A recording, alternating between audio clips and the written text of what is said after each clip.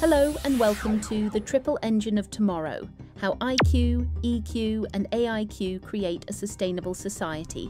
Have we mistaken speed for wisdom, convenience for connection?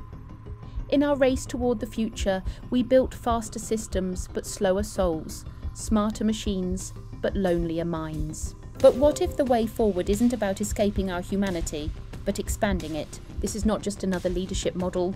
This is a radical reimagining of society through three engines IQ, EQ, and AIQ. It is time to reconstruct civilization from the inside out. Part 1 Intellectual Sovereignty, IQ. Imagine a world where cognitive mastery isn't a privilege but a birthright, where education is no longer a standardised funnel but a personal discovery lab. In Finland, students don't take standardised tests until late adolescence. They co create their own learning, their PISA scores remain top globally. Intellectual sovereignty means teaching people not just facts, but how to think, how to reason, how to question power, rewire education, think micro-learning ecosystems powered by open source platforms, encourage logic labs over rote memory, build civic imagination, debate clubs, local innovation hubs, intergenerational libraries. When IQ is decentralised, knowledge becomes a living commons and a thinking society is a free society. Part 2 Emotional Intelligence as Social Glue. If IQ gives us vision, EQ gives us cohesion. In Rwanda, post genocide, community healing circles restored trust faster than bureaucracy ever could. Emotional literacy became the foundation for national rebirth. What if conflict resolution was taught before algebra?